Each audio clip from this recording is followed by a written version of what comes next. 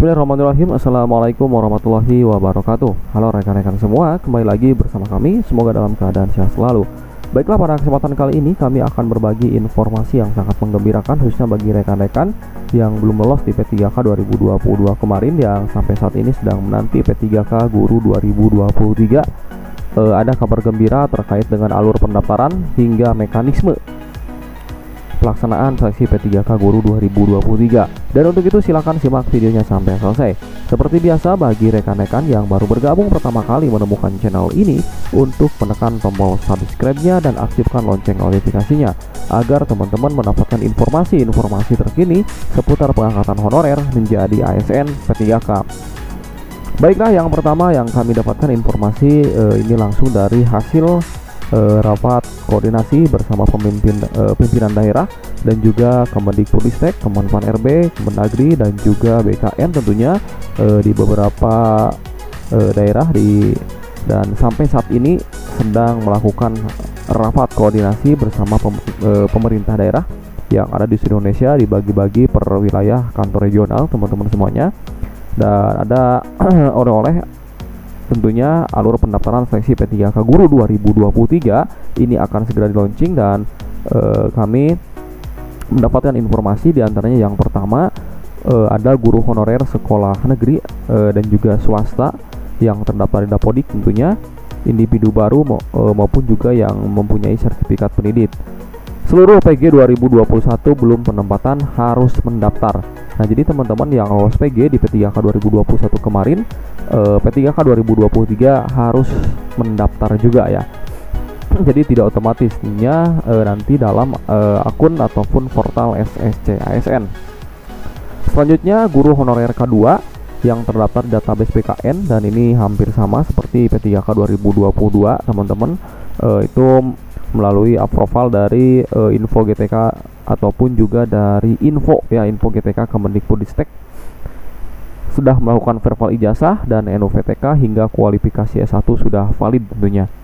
Nah, pendaftaran akun di SSCASN miliknya BKN dan tentunya nik harus sinkron dengan Diktu Capil dan juga tempat tanggal lahir. Ini hampir sama ya dengan P3K 2022 kemarin, teman-teman. Selanjutnya eh, mekanisme seleksi P3K guru tahun 2023 eh, yang pertama untuk PG 2021 itu langsung penempatan.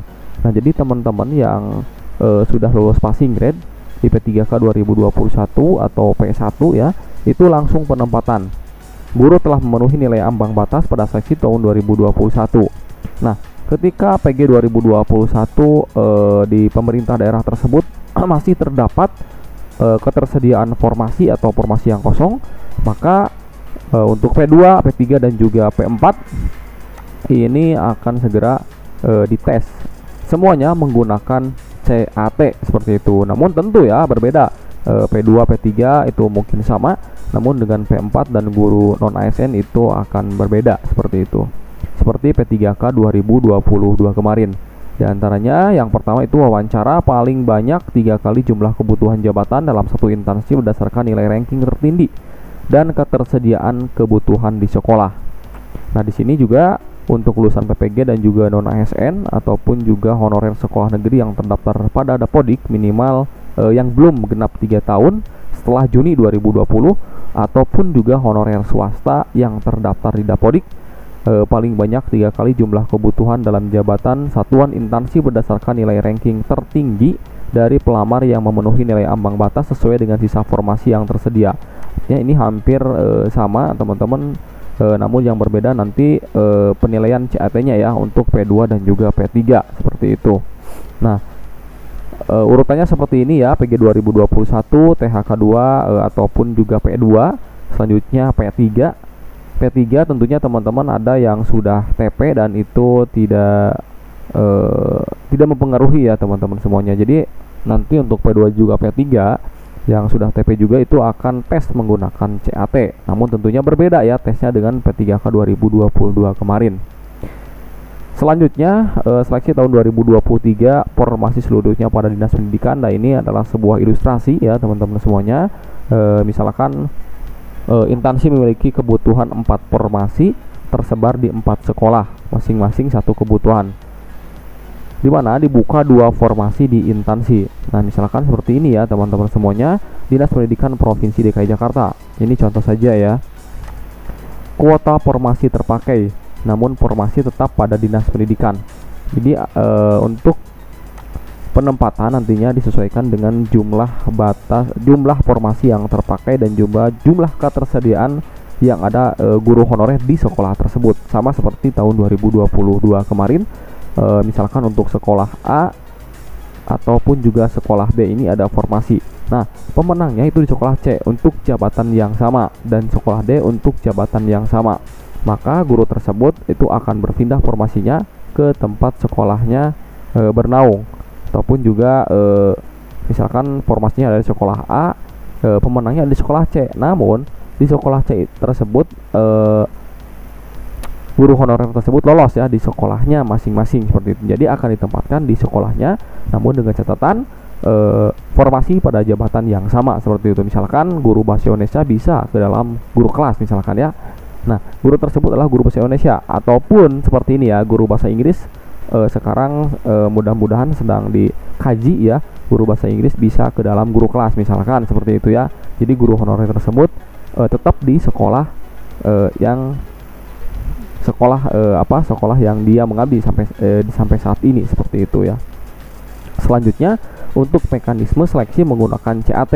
Nah, untuk menggunakan eh, seleksi CAT ini tentunya sangat berbeda ya dengan P3K 2021 dan juga 2022 kemarin.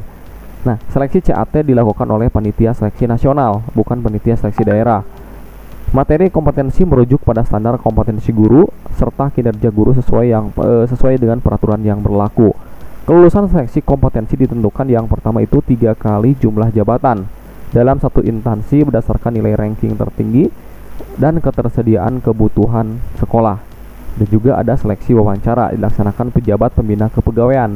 Nah, untuk seleksi wawancara di sini nanti e, berbeda ya dengan P3K 2022 kemarin. Jadi ini dilaksanakan oleh PPK atau pejabat pembina kepegawaian dalam ini oleh pemerintah daerahnya masing-masing seperti itu. Nah, itu untuk P2 dan juga untuk P3. Namun kita tunggu saja regulasi untuk P2 P3 ini apakah e, observasi seperti tahun kemarin dilakukan oleh kepala sekolah maupun juga pengawas. Namun Ibu Nunuk Suryani bilang e, pada saat raker bersama Kemendikbudristek dan juga Komisi 10 DPR RI bahwasanya diobservasi oleh diri sendiri. Namun kita tunggu saja ya e, seperti apa itu regulasinya. Nah, yang jelas ini materi pada e, CAT tersebut, penilaian CAT tersebut merujuk pada standar kompetensi guru serta kinerja guru sesuai dengan peraturan yang berlaku seperti itu. Jadi soalnya agak mudah ya. Seperti itu mungkin ya. Nah, untuk e, P4 dan juga guru non ASN e, di sekolah negeri maupun juga di sekolah swasta ini mendapatkan kesempatan juga. Namun termasuk ke dalam P4 ya di antaranya, materi kompetensi terdiri dari kompetensi teknis, manajerial, sosiokultural, ya seperti itu. Dan sama ya, kelulusan seleksi kompetensi ditentukan tiga kali jumlah kebutuhan jabatan dalam satu instansi berdasarkan nilai ranking tertinggi dari pelamar yang memenuhi nilai ambang batas. Misalkan seperti ini ya teman-teman semua di sekolah teman-teman ada formasinya satu. Nah, jadi guru honorernya itu ada empat misalkan. Nah jadi ranking 1, 2, 3 itu mendapatkan kelulusan. Nah, jadi untuk ranking keempat nanti itu e, ketika nilainya terendah itu tidak bisa lolos seperti itu. Jadi nanti dihitung dari jumlah formasi dan jumlah mafel pada satu instansi atau kabupaten seperti itu. Tiga kali jumlah kebutuhan. Misalkan guru PAI.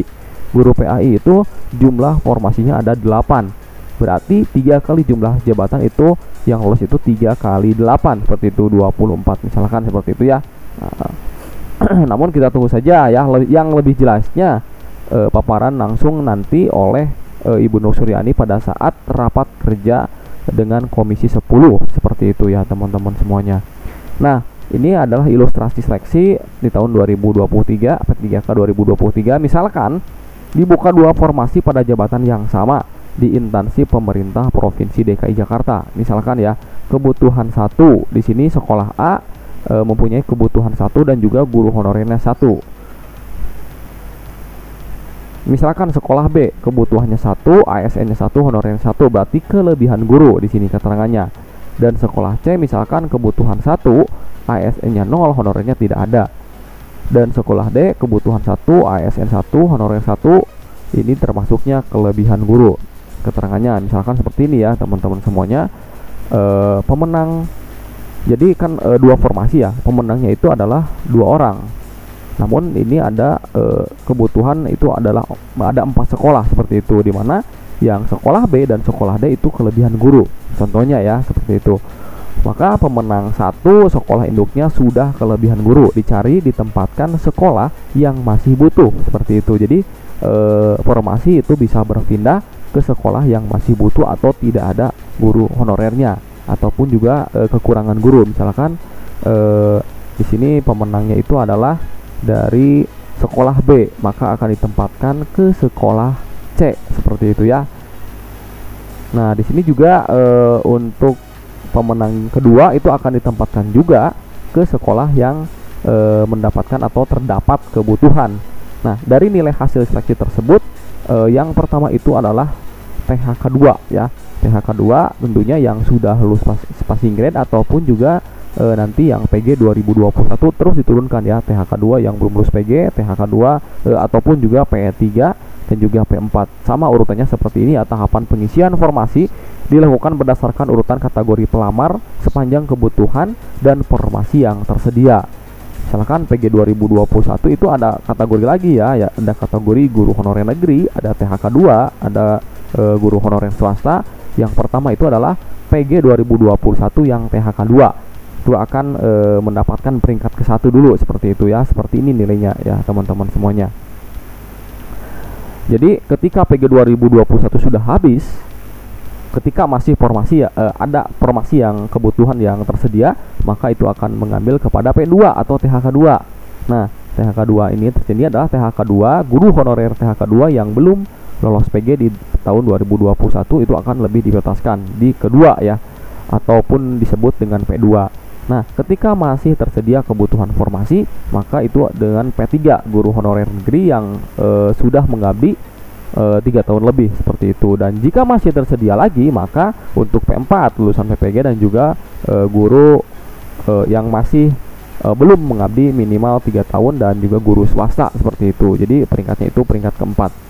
Nah, ini ada sebuah ilustrasi saja ya, teman-teman e, di P3K 2023 dan tentunya teman-teman yang belum lulus di P3K 2022 eh, kami akan mengabarkan terus eh, cara update tentang kebijakan dan juga mekanisme di P3K 2023 dan ini eh, mungkin eh, mekanisme yang cukup simpel saja ya eh, kita tunggu saja regulasi-regulasi atau perkembangan-perkembangan dari hasil evaluasi P3K 2022 kemarin mudah-mudahan eh, tidak apa mudah-mudahan teman-teman dari P1, P2, P3 hingga P4 eh, itu dipermudah ya sehingga teman-teman bisa mendapatkan eh, penempatan dan juga formasi kuncinya ada di pemerintah daerah. Pemerintah daerah harus mengusulkan formasi sesuai dengan jumlah yang telah ditetapkan dalam peraturan e, Menteri Keuangan 212 ya.